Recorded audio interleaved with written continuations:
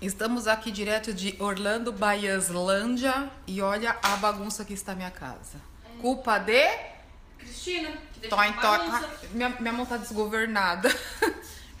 Essa menina me fez ir em 15 supermercados. Onde eu passei a madrugada toda fazendo docinhos para party da minha filha. E assim, agora que o remédio tá saindo do meu corpo, eu tô começando a me sentir melhor. E eu tiro forças do. Sinceramente, eu não sei de onde eu tiro forças. Mas, esse povo preguiçoso aí que fala, ai, tô cansada, ai, fiz isso. Gente, eu até doente faço as coisas. Que isso, vamos sacudir a poeira. Porque porque me- o que me deixa mais doente é se eu tiver uma coisa pra fazer e eu ver que a coisa lá parada e não fazer. Então, eu prefiro levantar sem força nenhuma e fazendo as coisas que aí eu, eu parece que eu melhoro. Tô indo agora. Tô saindo agora pra buscar o novo personagem da nossa historinha. Quem é? Quem é? Já já tô lá no aeroporto pra vocês verem. É aquele que não gosta de aparecer em vídeos, mas vai aparecer. Aí, a doidinha falou: "Mãe, vamos fazer o pai pagar um mico. Dá uma olhada."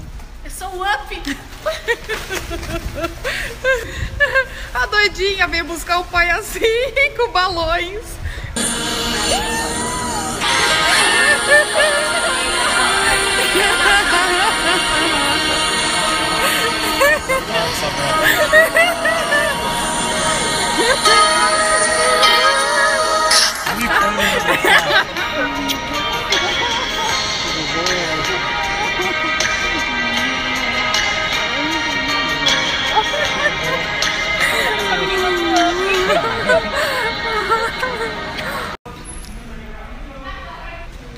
Perdemos o carro, já ficou estressado, meu marido. Tá lá, já tá brigando porque eu perdi o carro. E só quem perde o carro é ele, né? Ele é o perdedor oficial. Né, marido? Olha como eu trato bem do meu maridinho, ó. Dá um tchauzinho, amor. Ela tá filmando? Tô. Ó o pratão da Vitória. Tacos, tacos, tacos. Oi, pessoal. Mais um supermercado. Viemos no Walmart comprar umas coisas que, que tá faltando ainda. Depois na semana eu vou fazer um vídeo pra vocês com tudo que eu comprei pra festa da Vitória e os valores. Na verdade não é uma festa, é uma reuniãozinha de amigos. É tudo muito simples, né? Mas fui minha filha ter trazido uma luva. Mas que legalzinho saber, né? Eu sei que vocês têm curiosidade. Bom, Pessoal, muita gente sabe, mas muitas pessoas não sabem. Quando vocês vierem no Walmart, estiver procurando produtos assim brasileiros, tudo, vocês vêm aqui no corredor da International Foods, ó. Aqui, ó, International Foods. Aí vocês vão falar, ai, credo, que eu não vou querer, mas às vezes a gente precisa de uma maisena, às vezes a gente precisa de alguma coisa assim, parecida com o nosso, do Brasil. Então é interessante saber que nesse corredor você vai encontrar vários produtos parecidos com o nosso. Dei só uma olhada na minha sala. Marido, você veio pra ficar de vez já? Você já veio de vez, é isso, né? Pelo que eu tô vendo. Ó, ó a bagunça que está a minha... Começando a fazer os bolinhos da Vicky. Vou fazer esse aqui.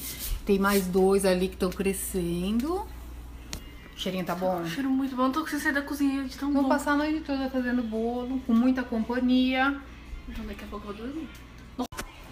Marido, você pode tirar o pé que eu vou fazer um vídeo? Obrigada. Gente, olha o prato que eu comprei pra pôr o bolo, que bonitinho. Sabe quanto na TJ Maxx?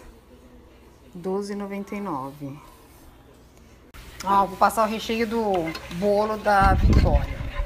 Então é uma lata de leite condensado, quatro gemas de ovos, duas latas da mesma medida do leite condensado de leite, uma colher de baunilha, três é, colheres de sopa de maisena.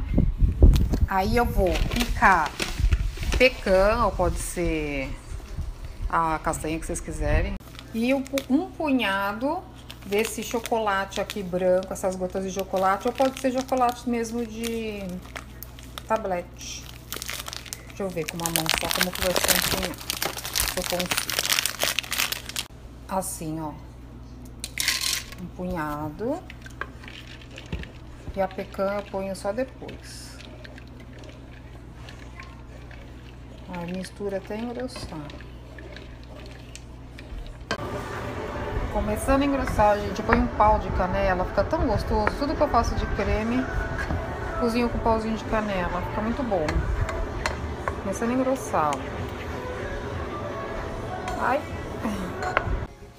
Bom, a primeira camada vai ser um bom doce de leite. Pensa que vai direto para cá? Não, não.